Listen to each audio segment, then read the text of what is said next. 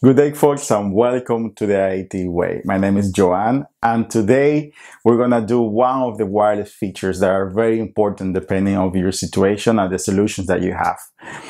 This one is the SSID availability. This is very useful if you have some specific places or companies when you need to broadcast that signal or that Wi-Fi for just a period of time. Could be just business hours from 8 to 5, or could be after business hours, after 5 p.m. until midnight, or until the next day. And these features can help you to achieve that. Or even you have a Cisco Meraki access points on your home and you want to ensure that your kids are out of Wi-Fi signals after 8 p.m. This can help you as well. So I'm going to show you how to make all these configurations in the dashboard. If you'd like to know more about the different Cisco Meraki features, you can go here. You're gonna see a list of different uh, videos on how to configure Cisco Meraki access points, switches, cameras, and security appliances as well.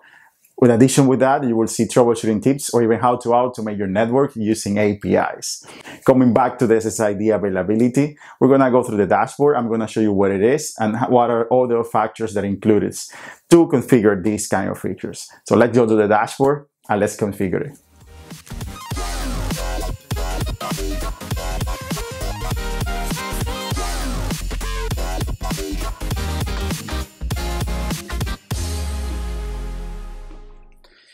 Great. So now that we're here in our lovely dashboard, we're going to go and try to configure all the way possible with the SSID availability for our MR access points. First thing that we have to go is check our access points. Right now in this network, we have one, and I put this tag office, which is gonna see, we're gonna see in the future um, why we need this. So in the MR30H, here we can see that we have three different SSIDs that we're broadcasting. The IT Way Corp, the IT Way Guest, and the splash page. So right now the three of them says broadcasting. What we're going to play around is with the IT Way Guest. So we're going to put a different ways of how to broadcast and different times. To do that, first thing that we have to do is go into wireless SSID availability. So here we have we have seen all the different ways that you can configure this specific feature. The first one is select the SSID that you want to use, in this case the IT Way Guest. You have three different options here. Visibility, it means that you have you can arbitrage this SSID publicly or you can hide this SSID.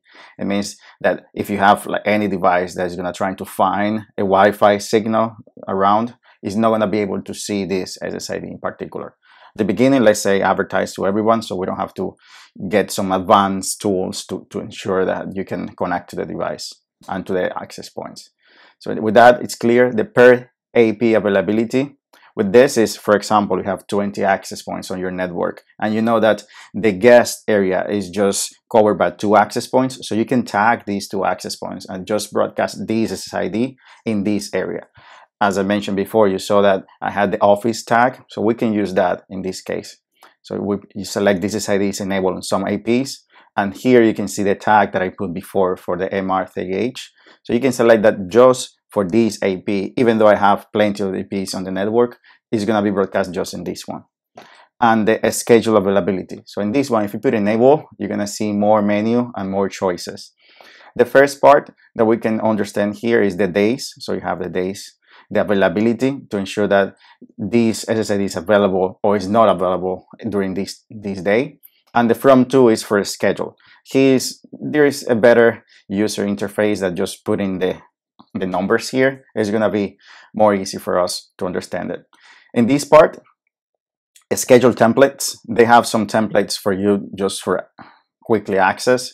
For example, if you're around like an office uh, specific for these hours, it's gonna be easier for you. You can put available for eight to five, boom, you're gonna see this gonna change.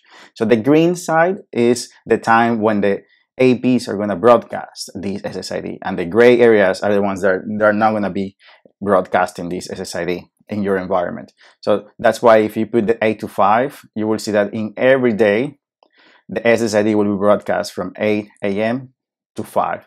But which a.m. and which 5 p.m. And that's why this local sum comes to place. So this is the one that you configure network-wide settings.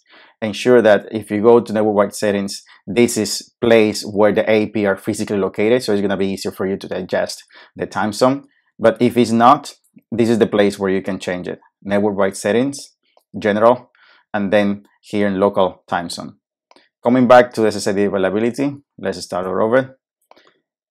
You know how the drill is. We're gonna advertise. This is gonna be enabled. Let's put it office again. I enable here. So now that we set the correct local time zone, we know that if we select this one, it's gonna broadcast from 8 to 5 p.m. The other one is the same except weekends because if you wanna cover weekends, that's the first one you can use. If you don't, that this is the more appropriate for you. There is another one that is always available and it's for you to see how it's gonna look like. So this one, having this one enabled and not having SSID availability is exactly the same thing. But if you say, no, for me, uh, I don't want it to be broadcast weekends, so we can start with this. The other one, no, it's not from 8, so I want to put it from 10 a.m. until, I don't know, 4 p.m. That's the way that is easier for you to configure, and you can do the same thing every day, and you can change every day manually. Or you can just put here the, the number, and it's going to automatically change as well. So it depends on what is the function that you want on your environment and then you can make the adjustments here. If you don't want that day in particular, you can do it manually here as well on available and then you see that it flipped. It means that if you want that, that SSID to not broadcast during office hours, that's how you flip in, in, in a way to flip the switch. I understand that from 8 to 5, this SSID will not be broadcast. And from 5 p.m. on to all the other day until 8 a.m., it will be broadcast. And that's the difference that you can use. So you can play around with that to ensure that you have everything that you need. So then what happens when you make it and configure? It? How do you know that it's been broadcast or not? If you save the changes and then you have SSID availability enabled in this SSID, coming back to the access point, if you click in the access point, you remember the three, the place where we saw the three SSIDs are in broadcast, you see the difference here. Now you can see this kind of tag symbol and the clock. If it's broadcasting, you will see the same message broadcasting. And now you identify that this has SSID availability enabled. So at the moment, since we select that all the time will be broadcasting, you see it here. Now, if you remove it and say that in this time, let's put it in the other way. Let's try and put it like that to know that we have the SSID uh, availability enabled, but it shouldn't be broadcast at any time. And that is the same that would happen if you check the access points when the time that you're selecting is not broadcasting at, the, at that moment. So let's see how it looks like. If I come here you will see that now the SSID is grayed out and it's going to show you a, message more clearly, right? It's not broadcasting because of the schedule that you set up at the beginning. So it went off at this time and this date, and then it's going to come back at this time at this date.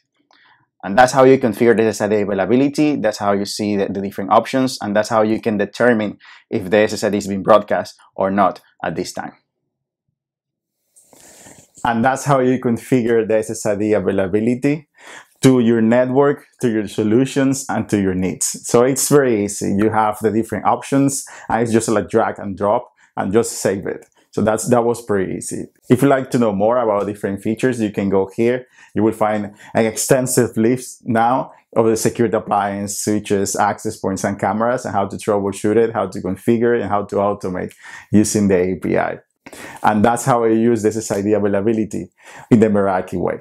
See you the next one.